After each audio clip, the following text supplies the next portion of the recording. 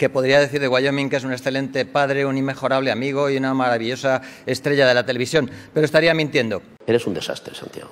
Es que no salgo a ligar. Para y no porque sea un pajillero, para mí la masturbación es hacer el amor con la persona más atractiva del planeta. Miguel Ángel Rodríguez eh, te llamó cocainómano. Dijiste, hombre, por fin alguien insinúa que meto algo en un agujero. Es que no tenéis ni puta idea de qué va esto. O cocaína o pisos. Esa maldita zorra me está poniendo cachondo.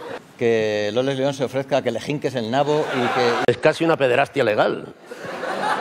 Loles León Ay. insiste mucho en que me quiere comer el nabo. Recuerdo cuando le, le acusaron de ser el autor intelectual de las agresiones a Herman Terks, se puso muy contento porque era la primera vez que le decían intelectual. Haber puesto una planta de marihuana y no la hubiéramos fumado, gilipollas. Prueba de ello es que un hombre con micropene se ponga de nombre artístico el Gran Wyoming. Sabía que eras patético, pero no que te ponías peluquín con 14 años. No me... Mira, Wyoming. O mira, ahí va el mierda de Wyoming. No. Además, tú ahora eh, te haces llamar Guayo. O sea, que, que es que tu, tu nombre va menguando, co- como tu gracia. Lamentándolo mucho, no puedo decirte que te admiro porque no puedo mentirte a la cara. Tampoco diré que te respeto porque para eso casi diría que te admiro. Porque a mí no me gusta reírme ni vejar a mis amigos. Pero cuando he llegado y visto el plantel, como ninguno está incluido en ese capítulo, esta es la segunda vez que tengo que rebajar mi caché para poder trabajar.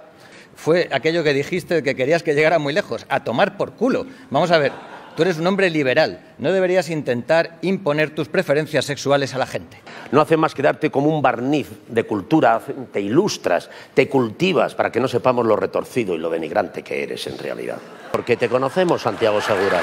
¿Qué te crees? ¿Que estamos de cachondeo? Hay un pozo moral detrás, hay una gran verdad detrás de todo esto.